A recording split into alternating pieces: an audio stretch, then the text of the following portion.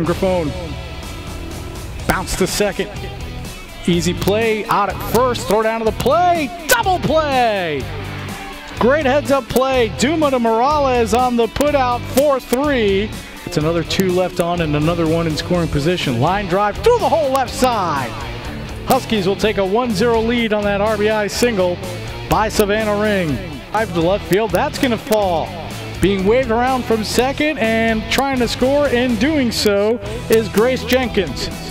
Throw to the plate allows the runners to go to second and third. Two more runners in scoring position. It's a 2-0 lead for UConn. Not offering it something elevated. Here's the 1-0.